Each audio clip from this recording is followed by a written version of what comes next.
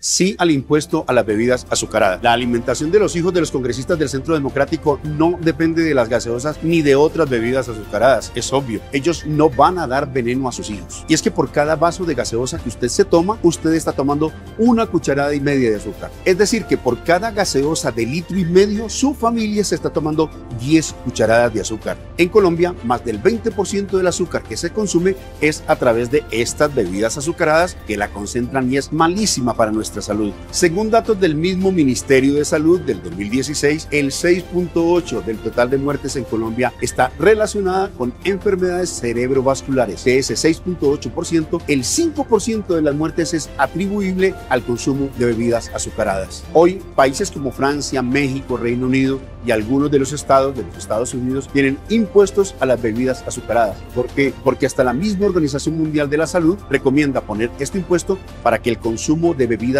baje y así no hayan tantas personas con enfermedades como la diabetes. El sistema de salud no debe gastar billones de pesos al año por culpa de estas empresas que están envenenando a nuestros ciudadanos mientras se lucran.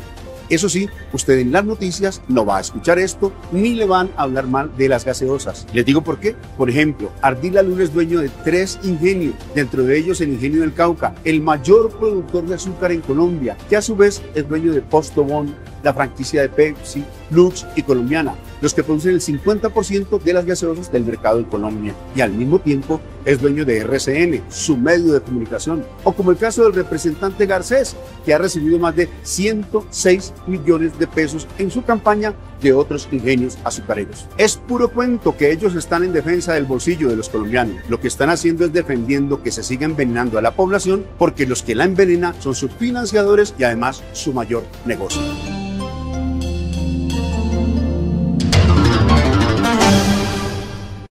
Si te gustó escuchar este artículo, suscríbete a nuestro canal, 90 Segundos Noticias.